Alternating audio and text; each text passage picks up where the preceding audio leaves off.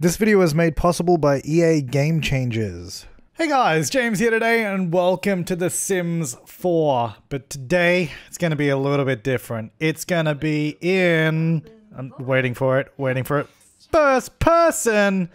That's right. So this is actually super cool. So The Sims today just announced, well actually they just showed off on the Maxis Monthly live stream a brand new feature coming to the game. Also, fair warning, uh, if you get motion sickness very easily, this probably isn't a video for you because the first person is pretty, it's, it, it, yeah.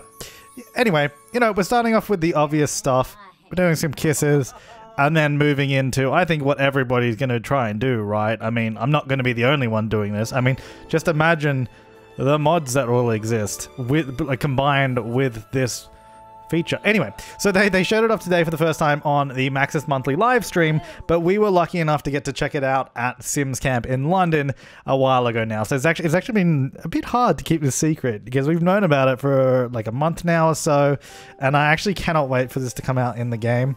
Uh, this the so the interesting thing about this is uh, it's uh, it was a feature that they mentioned was just uh, an additional thing that they kind of just ended up with in, in, the sense that you know someone on the team was just kind of tinkering along in their own time and then it ended up being something that they could actually you know put in the game. It's kind of a hidden feature. It's not something that's going to be you know presented to players when you start playing the game. Also disappointingly right here in this clip not a lot happens um, anyway, I thought, I thought, I'd put it in, and I had to try it. I mean, I had to try it, of course.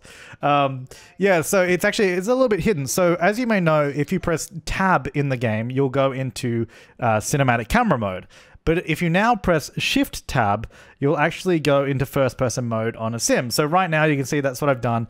And sometimes you'll see that my mouse, like right now, is controlling the uh, the the head movements and where I'm looking. So you can control where your sim looks with the mouse. And then you can also click on the ground and you can see it sort of pops up and says go here.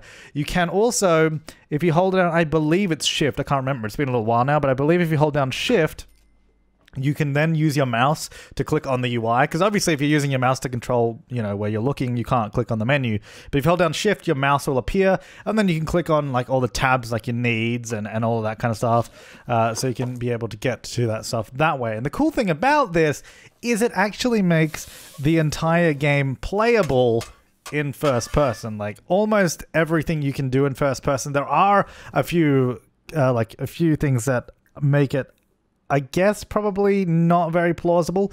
Number one, uh, I think one big thing that would make so obviously, like I said, this is not great if you have if you're susceptible to motion sickness very easily. This is terrible for that, and one of the big reasons for that is because the field of view is pretty small. Usually in first person games, people will tend to get motion sickness when the field of view is fairly restricted. But if you then increase it, and what I mean by that is if in, in cinematic camera mode, when you zoom out and sort of makes everything a bit squished and you see more stuff to the sides, if you increase your field of view, it actually greatly reduces uh, motion sickness. Uh, so if they could ever add that in, like here's the thing, this feature is such like a weird add-on thing. It's something that they may never update again. So unless people actually use it a lot. So hey guys, let's all use it a lot, and then we can all be like, hey, we could really use this update. It'd be great. But it's basically as simple as all you all that have to implement because they have this in the cinematic camera mode where you scroll with the mouse wheel if I could scroll to then increase my field of view, that would be amazing because that would make it way more playable for a lot more people, I think. And the other big thing that is a big issue, which I don't know if you've noticed because I've sort of been cutting, I've obviously been cutting around a little bit in this video, but you cannot actually walk through doorways. which sounds weird. Like you can walk through doorways, but you can't, while in first person mode, click on the other side of a door to say go here because your mouse will always hit a wall or it will hit the door and the door just has an option to lock it. So you can't actually select to go here if something is in another room, which is a slight issue. Uh, for obvious reasons. So it means that if you want to go somewhere that isn't, you know, in the same room, uh, then you will need to exit first person mode and uh, and go that way. Now this this item here, first of all, is the new koi pond, and I just stocked it with sharks, and I was like, oh, let's go swimming with the shark. That'll be awesome. But some interactions like that one there, where your sim sort of disappears, because you saw when he jumped in, he kind of disappeared. Uh, you will actually just be bumped out of first person camera mode. So obviously that you'll be bumped out of first person camera when you go to work or something like that, when you're not actually traveling with the sim. So obviously there's certain aspects of the game where you'll not be in first person which uh, that was an example of one of them. This right here, geez, this is something that could make you real sick. I obviously just put an ice skating rink here just to test it out because uh, I was like, yeah, that'd be cool. And if you ever wondered what uh, setting an object as your head in first person looks like, this is it. This is a couch on top of that guy's head. You know, just just casually, don't, don't even worry about it. Nothing too out of the ordinary there. And this is what a toilet looks like on top of your head.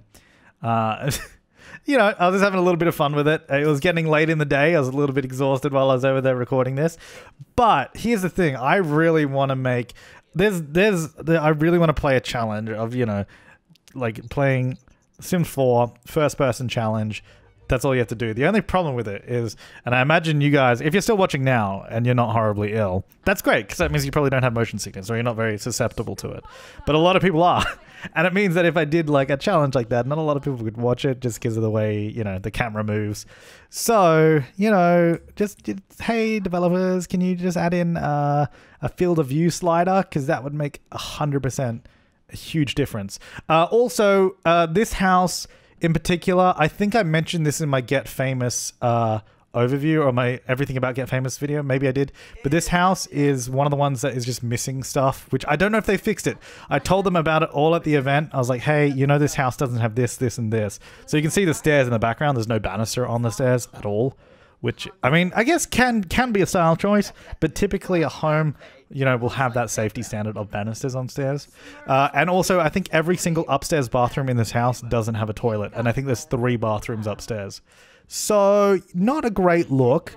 Uh, they said they were definitely going to see if they could fix it before launch. Whether or not they will, I don't know. Because the problem is after. Oh, actually, this is really creepy. Check. The, well, actually, this is kind of funny this is what it's like, you know, having a quick whiz as a sim. This is creepy though. So turning around and then bam, looking in the mirror and you just see your face looking back at you and you're a sim. How weird is that? Now imagine this also combined with VR. Ooh. Okay, so here's the thing. Obviously, there's no like uh, WASD control, so you can't like walk around like in a first-person game. You still click go here and all that kind of stuff. So, like like I said, it's a very much fun feature just added in. For you know a few minutes of fun have a bit of a laugh. There's a lot of funny interactions that you can do in this. Obviously i've only done a few things. We've done a bit of cooking we're doing some barbecuing now we've done some talking but there's a lot of items in the game where there's just some fun or weird animations that go along with it. Something that I didn't try and I, I, didn't record was doing the acting career in first person. Because I imagine, you know, being on stage and doing your your bit and performing in front of all the cameras would look amazing in first person. Doing some acting, I think that would look really really cool. So I'd love to see that. But um, if you guys want to see some more first person stuff, make sure to let me know uh, for when it comes out because this is this is actually this is I didn't even mention this. This is free. Uh, this is in the free update coming with terrain manipulation as well. So this is coming for everyone, not just for Get Famous, uh, which is really cool. It's just a fun, silly little feature, which I hope that they update more because it has a lot of potential to be awesome. And I think a lot of people are going to love this. This is something that I think we've all kind of always wanted is a way to go first person in The Sims, and this is like this is awesome. It, it look I think it even looks really good in first person. Like even like just interacting with the sim here, the way I mean, actually, well, something you also notice is how animated Sims are. Like they're they're super animated. Like if you were like this in real life, like moving around like this, it's crazy. Um, but it has this this feature has a lot of potential to actually be super playable this way, which is kind of weird. And I'm kind of excited for it. I hope I hope it's a popular feature that people actually want to see more of. Also, this is what it's like to be a YouTuber, in case you're wondering. So now you can know what it's like talking to a camera. So this is the uh, the video production station uh, where you can make YouTube videos or do streams uh, in the game uh, in Get Famous. So if that's something you're interested in, wondering what it's like, there you go. Um, yeah, I would love to do a first person challenge, uh, but it would not be able to be a long running series.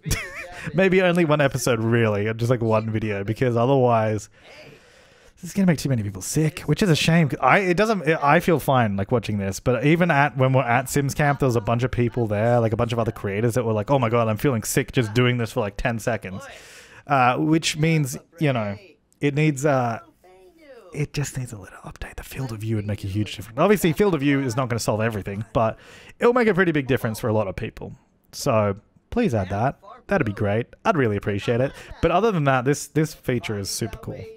it's it is super cool. I it's it's just something silly and something fun that you can jump into at any point in time. If you're ever wondering like, hey, I wonder what this looks like through the eyes of my sim, you can then just, you know, shift tab, jump into your sim and see what it looks like.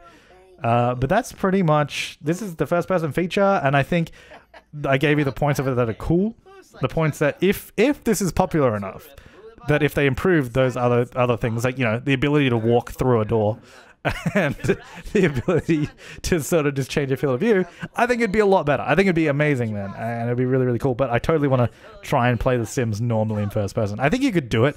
You just have to, instead of using doors, use archways. if you just use, oh, you know, like beaded doorways from like Sims 1 and that. If you just do like curtains over doors instead of actual doors. Ah, that'd be cool. Obviously, there's no building in first person either. I don't know if I didn't, I didn't mention that, but it's only in live mode when you're playing with a Sim. But yeah, that's it for now. Thanks so much for watching, guys. Uh, let me know what you think of this feature down below and if you're going to use it. Uh, and if you want to see some videos of it as well. Thanks for watching, guys. I'll see you next time and have an awesome day.